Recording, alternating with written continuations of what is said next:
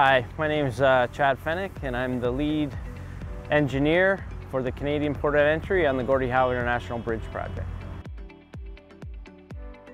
Currently we're working on the foundations for the structural steel canopy as well as the foundations and foundation walls for the primary inspection booth. The primary inspection booths are the main processing area for travelers entering Canada. There's going to be a total of 24 lanes um, and they're all about four meters wide. The primary inspection lanes are actually adjacent to the main building, which houses the offices for WDBA, CBSA, and, and CFIA, as well as uh, the secondary inspection area for both passenger vehicles and commercial vehicles. And as travelers descend down from the bridge, they'll enter the inspection area, they'll get processed by CBSA, and they will gain entry into Canada. There's 12 inspection lanes dedicated to uh, passenger vehicles and 12 lanes dedicated to commercial vehicles, um, but there's also room for a future expansion of about five commercial lanes. Basically what happens is we finish off the, the concrete foundations for the booths and then the concrete foundation walls. Next comes all the underground utilities, we erect all the structural steel system for the canopy, and then we, uh, we bring in the prefabricated booths and place them in.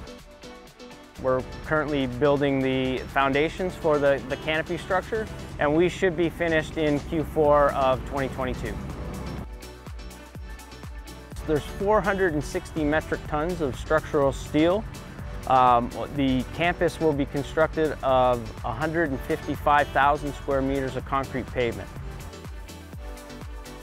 PIL booths, there's three different types of PIL booths. Call them high, low, and bi-level booths. Um, and they will be constructed of, there'll be a prefabricated structure finished in aluminum cladding, which will be very similar to the adjacent main building.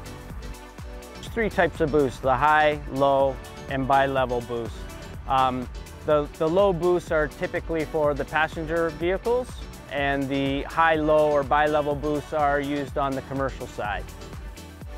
The canopy is, a, is one of the main architectural features on the Canadian POE. The main purpose of the canopy is to protect travelers and the officers from rain, snow, and sun. It's constructed of architecturally exposed structural steel, so a very high finish structural steel um, with traditional beams, and it'll be wrapped in a prefabricated metal roofing system It's pretty exciting actually, pretty passionate about this project. It's, it's, it's not always you get to work on such a large, challenging project in your hometown, right? I've been fortunate to work on some, some really large projects all over North America, but it's, uh, it's, it's always something and, you know, to come to your, back to your hometown and work on a, a project like this. Being from Windsor, I understand the significance of this project and, and, and the time frame to, to get to where we're at now. So it's, it'll be a, a great deal of satisfaction when this is all said and done.